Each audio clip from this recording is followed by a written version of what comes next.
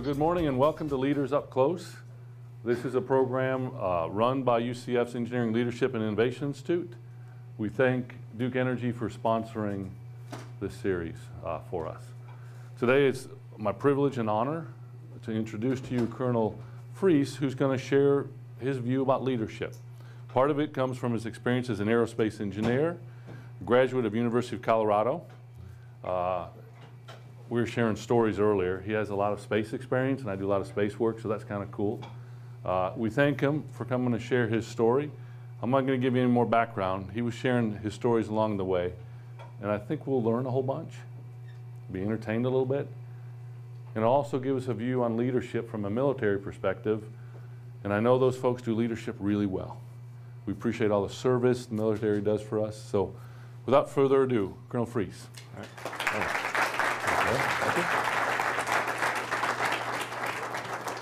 I haven't talked yet, so we'll see how I can clap afterwards. Okay, well, good morning. So a guy stand up here in uniform, I'm going to tell you something about leadership, and I think you probably understand that the military pushes leadership uh, very hard. It's at the core of everything we do. And unlike a lot of companies, uh, it's one thing that will push their officers throughout their entire career. So I have several things to say to you today. I can, i am going to give you my, uh, my background, my personal thoughts on leadership based on my experiences. And I certainly can jump in and talk about leadership any time because I love it. I love talking about leadership and the challenges. It's one of the things that I'm passionate about, things that I you, you know, wake, wants to wake me up every day and talk about leadership. Um, and, I, and I'll talk to you about how I got to that. Because I didn't always start being passionate about leadership. I sort of found that out uh, as I entered the, the U.S. military uh, and, and through ROTC. So a little bit about myself. Uh, grew up in Illinois, moved to Colorado, Boulder, Colorado. Attended the University of Colorado. Uh, started studied aerospace engineering because I've been a space guy at heart since I was a kid. Astronauts, rocketry, aliens. If it was about space, I was watching Marvin the Martian. Was one of my favorite characters, you know, along with along with uh, Bugs Bunny. So I am a space guy through and through. And so I wanted the opportunity to work in space. I have really bad eyes. So I don't, I don't wear glasses because they're about the size of a Coke bottle. I wear contact lenses, right? So I wasn't going to be an astronaut. I knew that pretty early on, but I really want to be involved in space. So I worked uh, to find what I wanted to do. I had some teachers who said, who told me about engineering and what it was, and I said, wow, that sounds like what I want to do. I want to design rockets. I want to be there when they take off. I to work with satellites. And so how do I get to do that job? And that was aerospace engineering. Hunted around for some colleges, got accepted to uh, Iowa State University and University of Colorado. Did a campus tour of both of them. I happened to get to the University of Colorado on the Friday before Easter break, and there was a bunch of students putting their skis in the car, putting the beer in the car because you could drink when you're 18 at the time. The snow was coming down. Everybody's having a good time leaving. I said, I don't even need to talk to the engineering dean because I'm going here. So uh, it was a good choice. So I went to the University of Colorado. Uh, four years, went through the ROTC program uh, because I had, had, grown up in an organization called Civil Air Patrol, which is a search and rescue Air Force auxiliary as a, as a high school student. Uh, they taught me how to fly. I had my pilot's license when I was 17. And so it was a ni nice fit for me. So I did one year in ROTC, not on scholarship, kind of a try before you buy. I really liked it, liked the friends I was making, and then they offered me a three-year scholarship, liked it even better. So I was able to pay through, the rest of school and then enter the United States military. So in 1987, I was commissioned. There's a slight delay from commissioning entry. In 88, I entered active duty as an aerospace engineer. Actually, my title was astronautical engineer because you had to pick one or the other, astro or aero. So I was an astronautical engineer, and I went to Cape Canaveral, and my job was to launch the first GPS spacecraft. And I can tell you at the time that GPS was kind of the low man on the totem pole because all the Titan rockets there were launching all the cool secret rockets. They were big and the satellites were expensive and they did amazing things and the GPS is just a navigation beacon. And we still have maps and we still have TACAN and Loran. This is a waste of time. This is never going to take off, right? So Amazing how things changed and how innovative people and engineers figure out new ways to use the GPS signal and transform society. You probably couldn't imagine life today without a navigation beacon of some sort that's space-based, okay?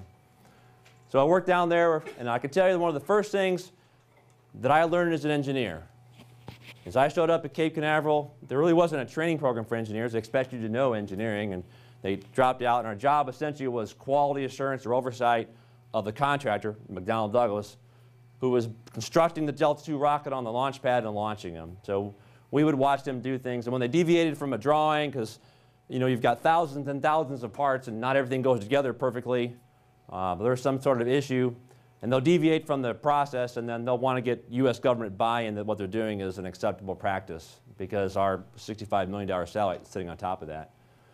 And so we, we, I watched their work. When I learned about rocketry is that I knew how a rocket worked. I knew why the parts were important. Uh, and I knew the importance of guidance and, and debris control. And you know, when, you, when the fairing comes off, you don't want to hit the satellite. I knew all those things. But building a rocket was really plumbers and pipe fitters. When somebody asked, well, how tight do you tighten that nut for the pneumatic line? Heck, I don't know. You know, or how to secure a wire harness properly so it doesn't break how to run things, you know, what the minimum turn radius or maximum turn radius, depending on what you're working for things are. There was a lot of tradecraft in making a rocket. So what I learned is that when you design something, somebody's got to build it. Real human beings have to build it. And so if you design something that they can't build, that's a problem, right? So I didn't know a lot about, uh, you know, you, you, sometimes you got to get your hand in there or a tool in there to turn something, put something, to make it work. Or when things go wrong, you've got to test it somehow. So think about if you're designing something and making it work, how are, how is somebody going to build it? How is somebody going to test it? Uh, uh, conduct some analysis um, and work on it afterwards. That was one of the things I learned because the folks building the rocket were plumbers and pipe fitters, electricians, hydraulics. There was one or two engineers on the pad going through the procedure, right? But a large part was that the guys that, you know, the same guy you would pay 100 bucks an hour to come work on your, your, uh, your bathroom system and your sink or build your house, they're building that rocket because they know how to use those tools properly, know how, to, how, to, how the lines go in and whatnot. So they're just following the process.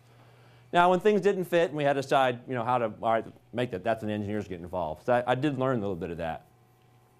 And I was working alongside uh, NASA engineers. People worked at NASA. Some guy literally had bolted uh, uh, uh, Alan Shepard into the Mercury capsule. I mean, there's a lot of got a lot of heritage right there, and it was exciting to work with those guys. And they're all in their late 60s at that point. Uh, I was born after you know they had done a lot of this great work, and so talking to them and their experiences, I learned a lot about um, responding to failure, adapting to problems on the launch pad, and building a rocket. And when they kind of kind of came, it was uh, February 14th of 1990 was the launch of the first Delta II rocket that we've been working on. And uh, they pulled the launch pad uh, gantry away from the rocket, and, uh, and we hadn't, hadn't fueled the, uh, the first stage up uh, with, with liquid oxygen yet. So you can go out to the pad, and you could uh, look at the rocket, and you could actually be on the, the pad. And I remember standing there on this pad with this giant rocket, and, and we're just sort of going back and feeling ready to go. And I had this impending feeling like, as a kid, we used to build these Rube Goldberg contraptions and try and do something and that and this and I thought, this is never going to work. You know, because it all has to work perfect first time, right? And I looked at this thing and I thought, I understood the complexity of a, actually a fairly simple rocket. And I looked at this and I thought, well, we've done our best to make this work. And, uh, uh, and I just looked at this machine. And then we went back in the blockhouse, we filled it up, and the rocket took off. And um, it's amazing to watch that machinery work, what you've worked on, and boom, that satellite's going 17,000 miles an hour off into orbit, heading off to the medium altitude orbit. So uh, that was a success. We had uh, um, 24 straight successes in rocket launches when I was there. Had no failures when I was there. One did occur later on after I left, and there's a lot of learning going on in that. Um, but it was an exciting time for me. And as a young engineer, I learned a lot about starting as an individual engineer and being good at what I did and developing myself, and that's what I want to talk to you about today. And then from that job, as I moved in the Air Force, because the Air Force doesn't want to make you a great engineer, they want to make you a leader. So I got on that leadership track, and I really enjoyed that, because my next job would take me out where I was in command of a small group, and they had weapons. Uh, we traveled around I had to learn about that, the different uh, uh, career fields, different ages, and I really liked the leadership end of that. So still a space guy at heart, moved on to another space, space unit and uh, began to develop leadership skill. So I took that off. So I'll, I'll talk a little bit how leadership comes into play. And I would expect that many of you, as, as engineers, you enter the, the engineering career field, there's some things to do right away. Pay attention, develop yourself, develop your competence, and then work on your ability to lead. Because at some point, you might want to run uh, some entrepreneurial company, maybe you want to run Lockheed Martin, you want to say, have your own say, or you found that one idea and you've got to develop into a business that produces value and brings in excellent people. Okay, so that requires leadership. So think about that. Think about the things I have to say to you. Um, I had a lot of uh, uh, uh, experience in the Air Force, and I've transitioned from, from space operations. I went off to uh, uh, work on command of air operations. I've got a chance to work with the most advanced satellites that the United States produces. Um, there's some things out that, one of the good things about being in the military is that you'll get assigned to work on some projects that, are, that really represent the most technologically advanced and capabilities of the nation. And so when you ask, well, how do they do that? You know, I got a chance to walk into things, go, how do they do that, right? So, uh, and, and then you talk to some engineers, sometimes not much older than yourself, well, we figured out how to do this. And we've made an application to do that uh, and been able to enable some uh, capabilities that we do. So um, it's been an exciting ride for me and allows, it's kind of satisfied the inner geek in me at times. But at the end of the day, what I love doing is motivating people to accomplish a task. And so we're going to talk about building leadership. I talk about my cadets. I always ask them with the cadets uh, in ROTC, so are leaders built or are they born? Uh, most of them say built, a couple say born. And I say, well, I hope they're built because otherwise I'm wasting my time, right? So their leaders are built, and I believe, I believe that from the heart. So I've got a, a, a few slides here. We'll walk through some, and I want to talk about building leadership. Okay, I want to start off with uh, leadership types. And I think this, is, this sums up my analysis of the people that I've met throughout an entire career in the Air Force. I've been in the Air Force about um, 27 years coming on, and I'm going to retire this summer. And it's been a great time. And I can't, it's been a great time to come back to ROTC as my final job to communicate uh, your experience back to the folks, motivate them to enter the Air Force, and they're so excited to be a part of the Air Force. But I'm talking to engineers, so I got to use a graph, right? Everybody's familiar with the X-Y graph. All right, I'm talking a couple of things. First, I'll talk about competence, and I'll talk about character. These two words sum up, I think, all of the information that you need to know, your described leaders, where it's in, it's in one of these two bins. And you have character. Right now, sitting in your seats, you have character. And I'll bet a lot of it's discipline, integrity, because engineering is hard stuff. And you've got some competence, you might be innately talented, or you're a hard worker. You're developing competence in engineering. So some of this is already in your kit bag today. All right? You didn't get into the school because you were lazy, because you didn't take the time to do the extra homework, because you were uninterested.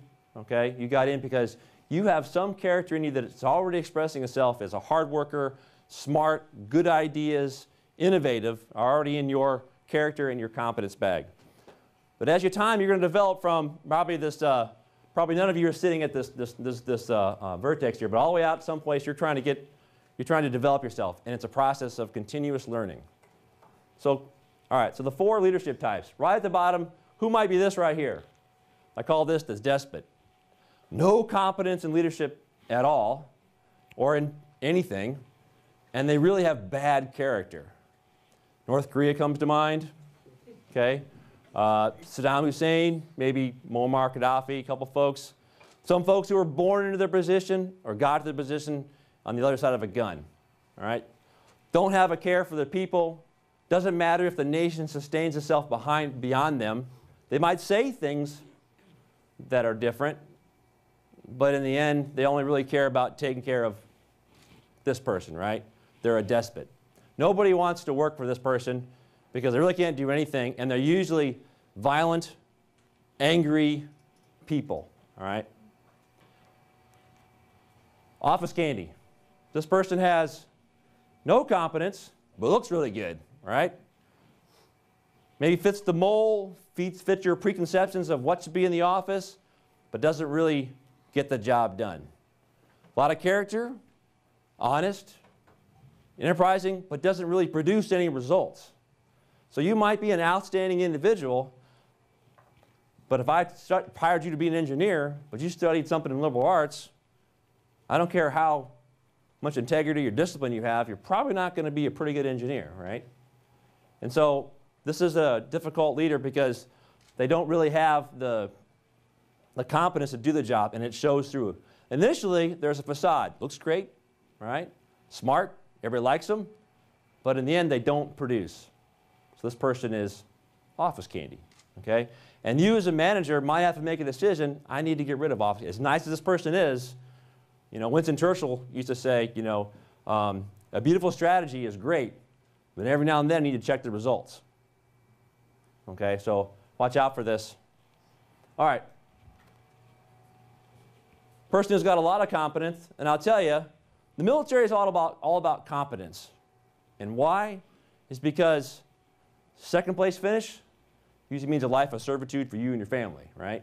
So uh, failure is not tolerated very well in the military. There's no, there's no prizes for second place. So we're all about competence. And when the nation's at stake, and men's and women's their lives are on the line, you don't want to tell somebody, well, you know, I'm not very competent what I do. I'm a nice guy, but I'm not very competent. And so the military values supreme competence in, in what we do. And you want to follow someone who's competent. Because if you're starving, the farmer is the person you want to follow, right? If you're blind, the one guy in the group who can see. So you will tolerate bad character if you think hooking yourself up to this person is going to help you survive, move up in the world, your company excel. But the problem is hanging out with somebody who's got bad character, even as good as they might be, is they're a uh, ass okay? And that really wears on you over a long period of time. The person who is, has no character is angry, and they might be great, but it's soul sucking. For you and the organization, and people leave. Eventually they say, there ain't no success worth this. And they leave, and they seek out other places. And then the organization doesn't attract good people anymore. And then it begins to take on that personality. And in the military, we've been to call these folks recently toxic leaders has come out recently as a, a, term for a toxic leader. They might be very, very competent in what they do, but they're toxic. And in the military, we do a lot of, well, suck it up. That guy's really good. You're not hard enough. Right? And we, we push people to the limits. And we've got to do some pretty scary things at times.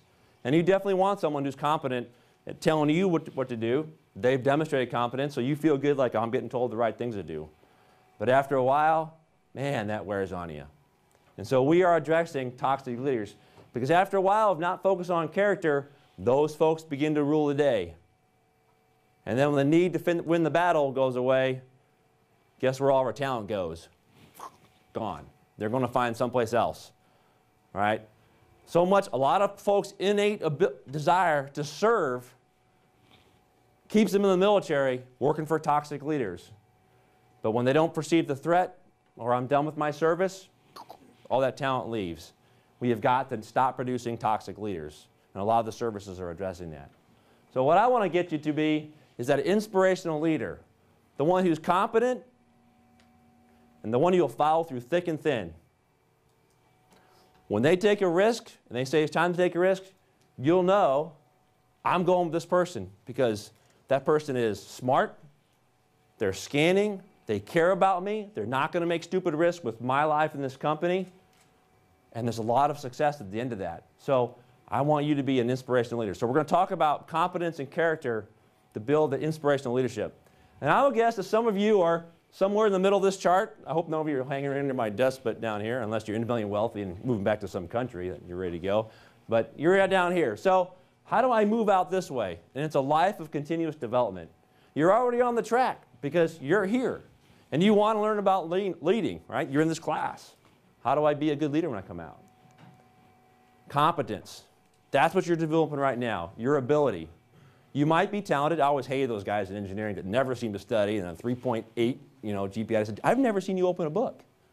And they just had photographic memories. They just got it first time around. They understood the language that the instructor was sort of speaking in. It was kind of sounded like English, you know. So you, I can relate, right? You know, I've you know professors that not on one of them was an Anglo-Saxon name and and had to work pay attention to what they were doing. But they were really smart. And I learned from those, those professors. And I learned from the folks that are out there. But there were people like me and people that were much, much smarter than me. Okay? A lot of us are just knocking it out, developing our capability to be an engineer. So you might be talented. Now, this applies to football. You might be a great football player. You've got to practice. Michael Jordan in basketball would tell you that he had to work all the time to be as good as he was. There's no success without hard work developing your ability. Recognize what you want to do and develop it, whether it's an innate talent, a skill, you know, you're, you're genetically freakishly strong and you're Arnold Schwarzenegger, that was his thing, he developed it. Okay? So work your ability, develop your competence, because people are going to hire you to be an electrical engineer, mechanical engineer, industrial engineer, you pick it. And they expect you to know your stuff. So be good at it.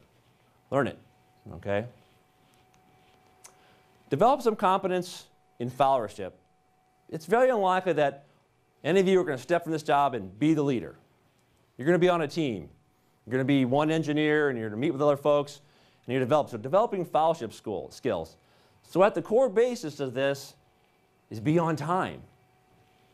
Okay? Be prepared for the meeting you're going to be in. Have you studied what you need to know? Have you understood the background of what you, what you need? What is a boss asking you to produce this meeting? Be prepared. And be engaged in the meeting. I always to hate it when people would be staring at their cell phones or Blackberries in a meeting. Two things. One, like either look like you were in, unengaged, then I will think about, well, maybe I'm not very engaging, right? So, but be engaged. Because when the, the team leader's looking out, he wants all of you to participate. You each have talents you to bring to the table. Bring it. Be engaged with those folks. So in your first assignment as, or, or first uh, job as an engineer, somebody's looking at you to see how talented and engaged and prepared you are. Being smart is not enough. I've got to be a good team player. And so when you show up, they want to keep people on the team who know his, that they, you share their opinion of importance for the project that needs, needs to be done. So if you don't look like you're interested, they're not very interested in you. And they'll find other people who are interested, and they'll hire them. So be interested, be part of the team. And then aligned initiative. Aligned initiative is I'm not working to do this job to undermine the boss, to be self serving to move on to something else. You're part of the team. And if that comes out, you will erode the confidence in you from the rest of the team. They'll look at you and they'll question the integrity of your work if your initiative is not aligned. Say, so be a team player, that's your job. And your capacity to be a team player will lead into your ability to lead a team. You demonstrate the ability to be there, that guy gets it. That gal gets it. She's smart, sharp, engaged, great ideas, and thinking about this business that, I, that they're in. So I want them to lead a team and develop folks on this on bringing people just like her into this team. So being a good leader starts with being a good follower, and then team building. Who are the right people? I've got to bring out those right people, seek them out, people I know. Maybe you're in a hiring position, you got to hire them in, all right? Who are the people in the organization that you've seen be on time, prepared, engaged, and their initiative is aligned? Bring those to my team because they'll get something done. You're going to build that team, you're going to resource them. What do they need to get their job done?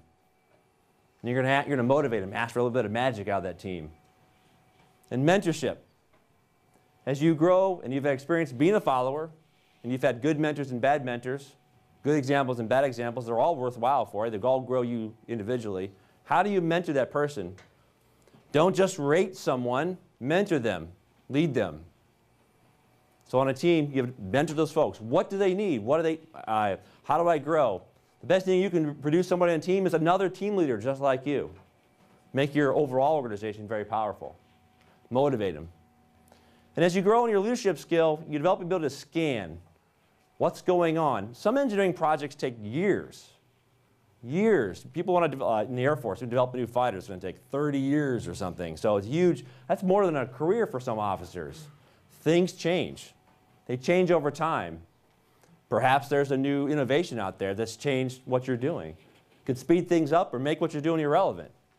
All right? Your job is to scan. What resources do they need? What's new on the front? How can I, how can we still stay relevant? And then developing judgment. when to take a risk and when not to. A quarterback's a good example of uh, uh, someone who's very good judgment.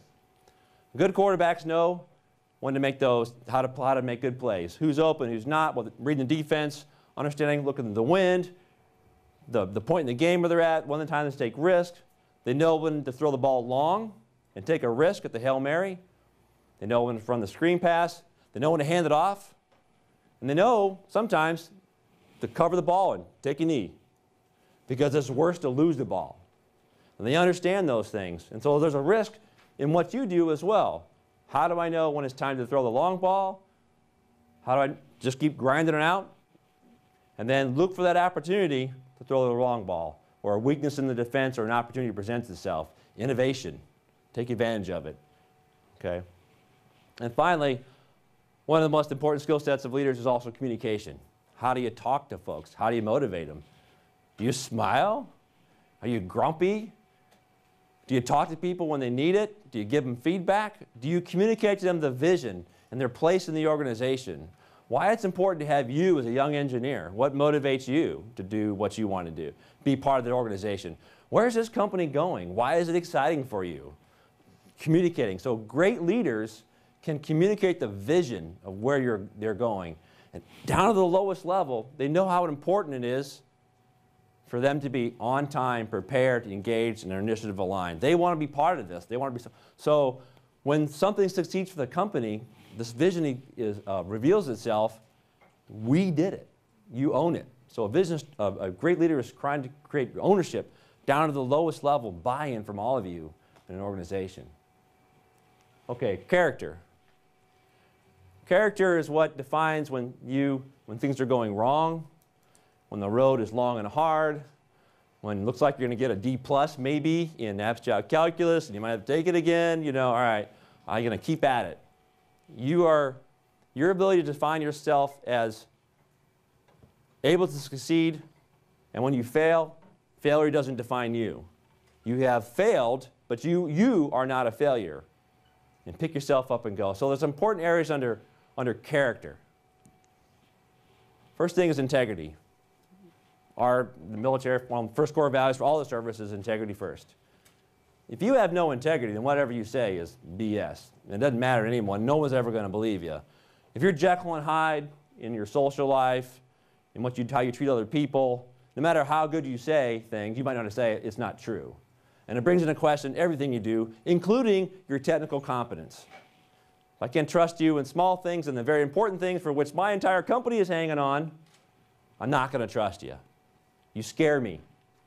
A person without integrity is, is, is, a, is a pariah to an organization. Discipline. We've got a whole slide on discipline coming up. At the core is discipline. Someone to commit themselves willingly to the discipline required to develop their talent and to develop their character.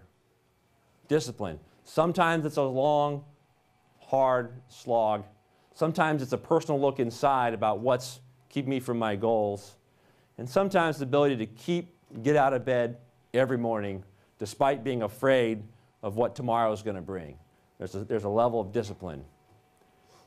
And it sort of uh, dovetails into grit. Grit is perseverance, it's resilience. Keep going again. There might be a time when you have a catastrophic semester because life happens. You've lost a relative, a close friend, you've run out of money, you're sick, and it's taking you off what you thought was going to be the four year plan to get you into, into a job. Maybe it's a five year plan now, or maybe it's something else.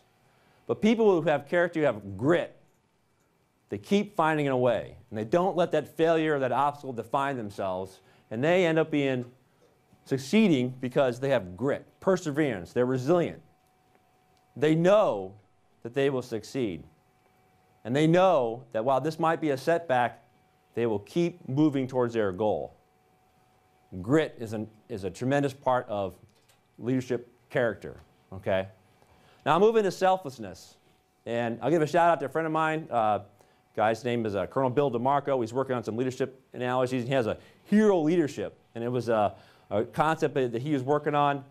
And a lot of that defines that a, hero is, is, someone you probably want to think of as, as selflessness, right? They don't think of themselves before they act. they're going to go help somebody. No matter what the odds or the danger, a hero will go.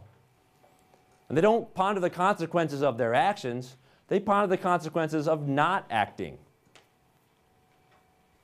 And so Bill was, was looking, analyzing these, these traits, and they think that's selflessness.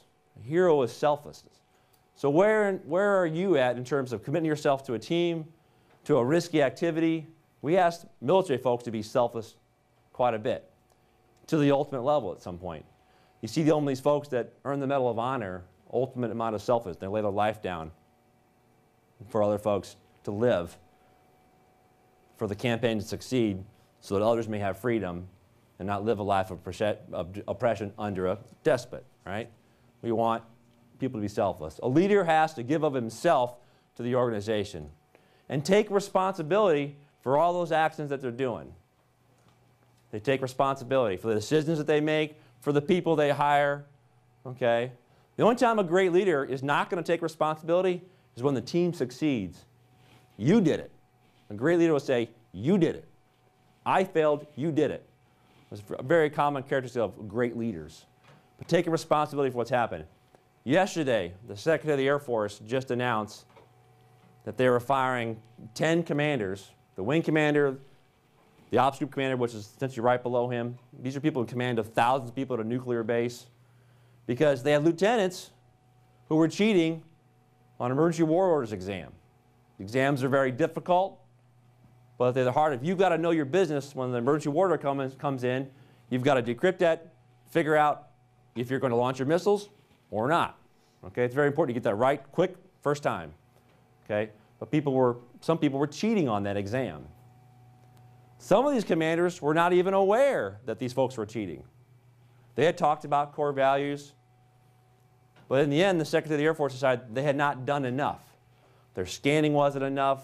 They weren't digging in and asking questions. And she fired 10 of them colonels, lieutenant colonels, majors lost their job. They took responsibility. And the commander, uh, Colonel Stanley got up and he says, You know, my hand is on the wheel. I am responsible for when this happened. I didn't go out there and encourage cheating. In fact, I talked about the core values of integrity and not doing this. But you know what? My hands were on the wheel when the ship went down. You're responsible. But you know what? I'll bet he's got grit. And despite this, what is a, one of the largest failures probably in this time, I bet that individual's got grit. And that will define that individual's future success from a very, very difficult problem. Okay. Confidence and courage and decisiveness, I would tell you. These things are also related to competence because the better you are, the more, the more you know your business, the more confidence you are in making decisions, right? So the more confident you are, that helps you make confident decisions. It also helps you be courageous at the right time because if you know the business, you know, you know, engineering is about close assumptions a lot. Frequently, all right, right so I want to get about that. You understand the, the physics of it all, the chemistry of it all, all right? What's a good hypothesis? Where were we at? You can make a guess. And you get closer and closer to understanding a large body of information so that when you decide to make a decision that seems courageous to other people, but for you, you've experienced a lot and you know a lot. And so confidence drives some of your character. And then there's also making the calculated risk. That's courageous. So competence drives some of your character developments. The more you learn about your job and yourself and your industry, what's going on, the more confident you can be. So it isn't that it stands alone, you can develop that. Okay? And courageous, you might seem courageous to someone who doesn't really understand the career field very well. So it might you not seem courageous at all. Other people that, wow, pretty courageous. But you knew because you're very confident in your skill set.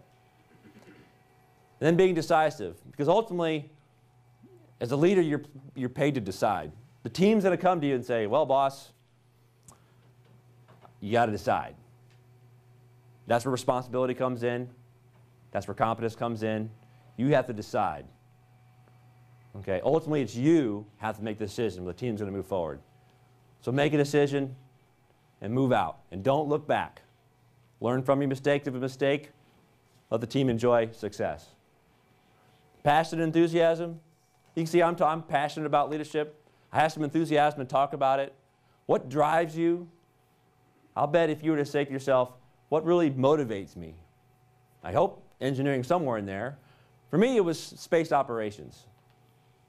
And so when I tried to find, do something inside my passion, I couldn't be an astronaut, right? But I could be an engineer. So it's kind of cool because you know I, I, learned a lot about physics and whatnot. So I decided if an alien race ever showed up here on the Earth, that I'd be the guy I'd go, before you shoot us the death ray, how did you get here? Can I have a peek at that propulsion system? Because I understand, know, as far as I know, you can't go faster than the speed of light. And that's a long way. So how'd you get here? Maybe there's something I don't know. I'm really curious about that. That's the engineer in me, right? So it marries my space ops and my inner geekdom and all this kind of stuff. So when I see all the shows, like, where'd that guy come from? And they make up some kind of thing that, you know, well, it's time travel and black holes and stuff. And I, you know, okay, I don't really understand that. You know, there's some folks out there working on some theories like that, and I'm really excited. Perhaps they'll figure that out because make those big leaps in engineering. But I'm, that's kind of the inner geek in me. My passion is in those things, and engineering sort of fulfills that passion for me. Um, I'm still, I've been a member of AIAA since 1983. Okay, I read the books and everything comes up. You know, I used to do computational fluid dynamics on Fortran 77 with cards, right? That's what I did CFD on, right? Um, so the, I, I can remember all those things, and now the things they do with CFD and computers is amazing. Um, it just, it, the, what's out there to leap forward, to be passionate about, be part of that. You know, what, where is that at? And be enthusiastic. There's an element of passion that I want to caution against, and that's intemperance. So to be a good leader, you need to have exercise temperance. I used to golf with a guy. And we were pretty good golfers. And when he'd miss a shot, he'd get grumpy. Then at some point, things wouldn't be going his way, and he'd throw his club. And he'd curse. Then maybe run up against the group in front of us on one of the holes, and, and he'd, he'd be cussing them out.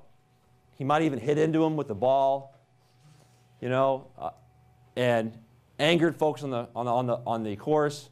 We get back, you go get the marshal, and he chew out the marshal. You're not doing your job. I paid my money, and you're not moving these people along. And, you know, it turns out the people in front of us were World War II vets that did. One of, one of the guys was missing legs and a little, little bit slow. So his anger is out of a belief that the people in front of him were bad. It's not from a position of knowledge. Passion comes out of knowledge.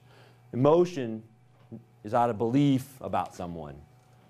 So when you're angry and you're kicking stuff around, pretty soon, our foursome, well, some of the guys had other things to do. They didn't want to hang around this guy because guess what?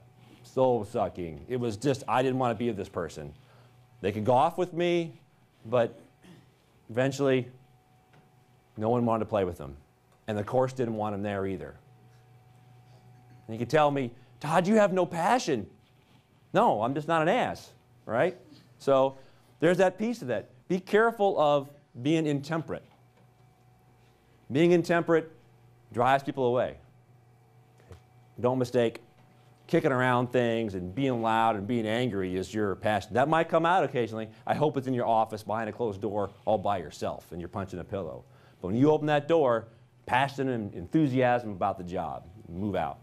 Okay? So don't be, don't be intemperate. Be temperate. Temperance is an important part of your character. Discipline. So we're going to rock through these real quick uh, on discipline. This is a piece of leadership. So I'm gonna talk about health and growth. Your health and your growth. Physical discipline. Do I work out? Do I remain healthy? I can guarantee you, if you're obese, you've got diabetes, you've got lung cancer because you smoked all your life, none of your inner passion to get things done, that's going to consume everything. Survival is going to consume everything for you. Those of you who have taken some classes in, you know, over the liberal arts side, you have Maslow's hierarchy of need, right? You're in the survival mode. You can't be effective if you're fighting to live. Take care of yourself. Understand what goes in your body. And then start small. Develop the discipline to go out and take care of your body.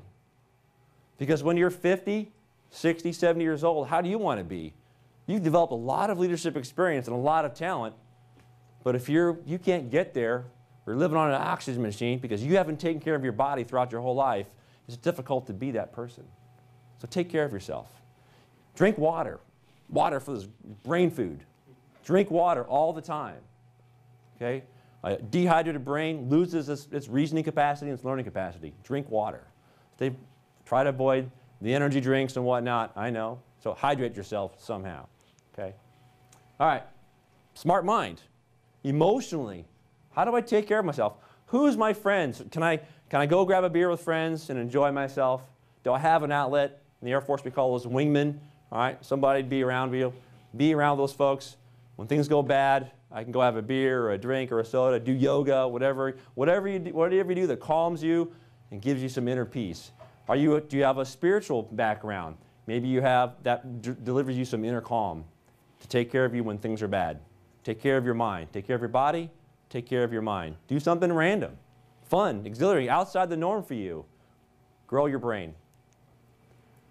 Physical development, okay? We already talked about this quite a bit. Develop your skill, whether it's an athletic skill, a motor skill, golf skill, skiing, or engineering, computing programming, you know, um, thinking up new ideas. The human brain is amazing, okay? Develop yourself. Mentally, read. I don't want to miss that new thing that comes out in the aerospace or the space field. I read all the time when I find out what's going on. And occasionally I read about some, some ideas that sound wacky that I hope work out true. You know, do some critical thought. When somebody presents something to you, you go, that doesn't sound right. And ask some questions. Do some critical thought about some things. Develop your ability to make good decisions. Okay, social. This on topic gets all the time. You cannot be someone else on Facebook that you are a real person. When people see all your stuff on Facebook, they're going to make a value judgment about you. Understand what's out there. Be timely what's, what's out in social media. Pay attention to that. Again, it goes back to the integrity of people, all right? If you're a nut job on Facebook and you're a troll and you make evil comments, right? you're not the person they see in the office, and that stuff gets out, and it's forever. So check yourself. Watch what you're doing. Avoid that. Okay?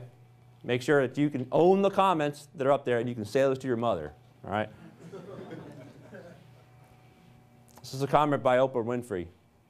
Character and competence are developed over time provides you that luck when it occurs because you are ready to, to seize an opportunity because you developed yourself and your ability to do what you do and work a team, make money. Continuous improvement, always, always throughout your whole life for you and your organization.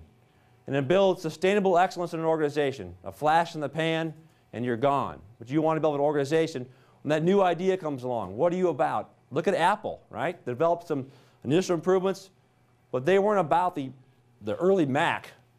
They were about design and excellence and innovation. And they developed a lot of new tools. They developed sustainable excellence continuous improvement over time. They had to hire the right people, bring those new ideas in, but their company was not about the product, they're about why they do things. To produce outstanding, beautiful products that people love to use, that are easy to use. It's a cycle. Be ready for change. If things happen, what's going on, right? So do you get that? Let me think about that a second. Escalator? Okay, yeah. So walk up the escalator. Things have changed, right? All right? Manage change, scanning, looking for things. Look out for risk. Where's the fruit on the tree? At the end of the limb. Sometimes to get that, you got to make that risk. All right. Production. This is Leonardo da Vinci. People make things happen. No entropy. That's your engineering joke, right? So, all right. Make things happen. Put things together. Make things the more that they're what they're what they we're not otherwise going to be is in disarray. Build value into your life for other people, for the things that you do. Build that in. Be productive. Finally, the power is with you. The greatest power that people give up is believing that, that they don't have the power to do it. You've got to believe in yourself, that you have the discipline to do these things. You have the ability to do these things. You are resilient to problems and change okay, and you will find your goal. And it might not be what you thought about today. I didn't think I'd be here 27 years ago. I thought I'd be working rockets, doing other things. And new things interest me. My passion was lit, and I moved forward, okay? So sometimes have let go of the past, let your passion develop. and it's wonderful in front of you. At the core, you believe that you have power. Don't give that to anyone else. Take charge of yourself and take charge of your life. Thank you very much. I'll take questions.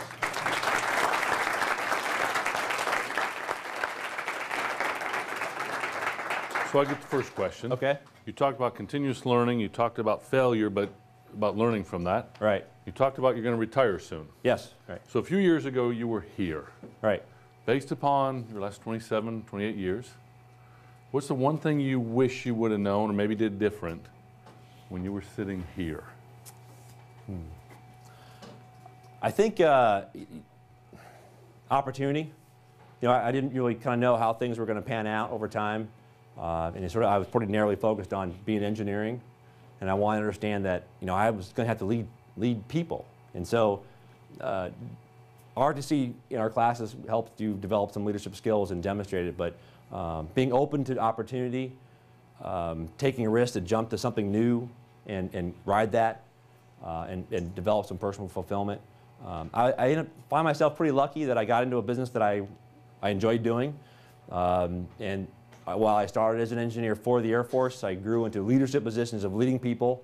And then I, I led uh, air operations as a vice commander for an air operations center. So I ran like a, um, a, a big cycle. We planned air power and strikes. And so that was well outside of my comfort zone.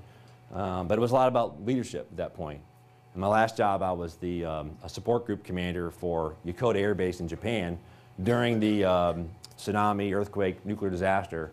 And I found myself leading people. And I really enjoyed, all of a sudden, leading people through that crisis.